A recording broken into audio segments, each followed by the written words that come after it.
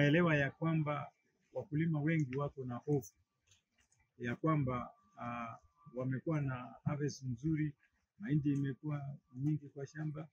Sasa tutapeleka hii mahindi wapi? Hii ndio maswali wakulima wengi wamejiuliza na pia wameuliza serikali, na niko hapa kujibu hiyo swali.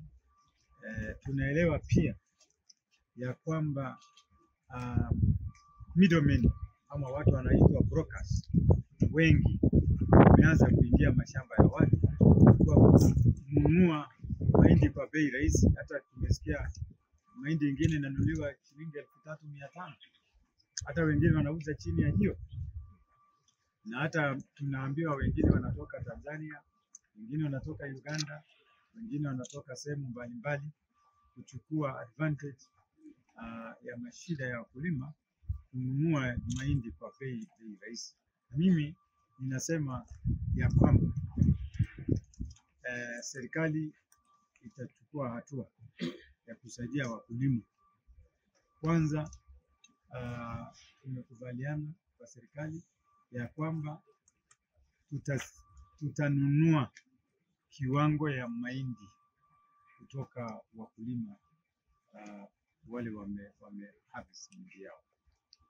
Details zaidi zitatoka wiki hii ya kusema mahindi itanunuliwa na ngapi, eh, tutanunua gunia ngapi, yote tu serikali itatoa taarifa kwa eh, njia ya haraka so that watu waweze kuelewa serikali imechukua hatua gani, lakini nataka kuhakikishia wakulima kwamba eh, serikali inaelewa ni nini inaendelea kwa hii sekta. Tunaelewa vile brokers wameingia mashamba, tunaelewa vile middlemen wameanza kununua mahindi kwa rahisi. Kwa hivyo sisi pia kama serikali tunajipanga kupambana na hiyo hali.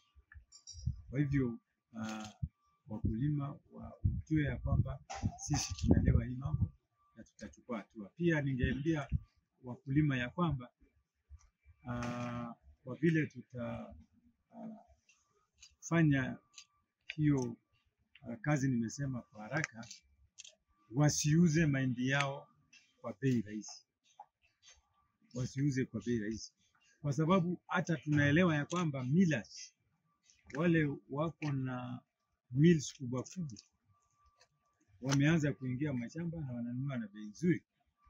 Hata mpaka jana millers walikuwa wananunua na bei ya 4500 kutoka wakulima, na pia kuna watu wa biashara pia kutoka Amerika uh, uh, wanaitwa Afex wameshaingia mashamba, wao wananunua na elfu nne kwenda juu.